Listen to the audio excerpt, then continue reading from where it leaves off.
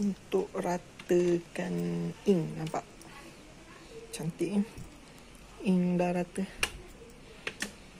Ha, ini untuk kalau macam kita tinggal mesin ni dalam 2-3 bulan macam tu